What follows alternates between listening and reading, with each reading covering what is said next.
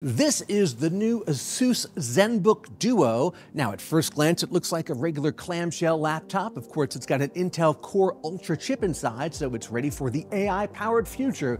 But I'm more interested in what it can do right now, and that is you know, regular keyboard, OLED screen, that's all great, but you take the screen and you pop it right off, and then you have hiding under here a second 14-inch OLED display, and you can actually, you know, share the desktop across both displays. And if you want to do a little bit of typing, you could use that keyboard short still connected via Bluetooth, or I take my six fingers and I give it a tap, and then all of a sudden I've got an on-screen keyboard, I've got a little handwriting panel right here, and I can do a little handwriting recognition.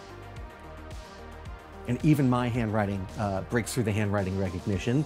Uh, and of course, you can call up all sorts of other little extra bits and put them on the screen.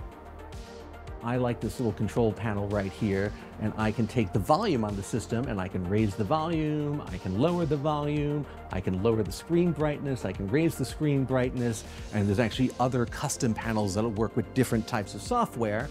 And when I'm done with all this, if I just want to do some real on-screen typing, I take my six fingers again and I scroll up like this, and now I've got the full-size keyboard and a full-size touchpad like that. Or if I want to get rid of all of this stuff, then I can close all these windows. If I just do a three finger tap, then I just have a touchpad on the bottom that will control the cursor across the top and bottom screen. And of course, since it's two screens, you can obviously take a folder or a window or anything and you can move it from the top, you can move it to the bottom, you could have it take up the whole screen, you could have it straddle halfway between. There's really a lot of different things you can do. But once you get past all this, then you could take these two screens and start bending them and using them in all kinds of interesting ways. So then you could take the two screens and I can put them side by side and put out the little kickstand and then I've got this little double guy right here, and I put the keyboard in front of that, and then I have a two screen stand-up system, or you can even take the two screens and tilt them like this, and they're gonna reorient themselves automatically. And then you've got basically an all-in-one PC with two giant screens you can look at. And the final way that I found interesting to use this is you lay it down flat, you lay it down flat like this, then you can turn on this screen sharing mode.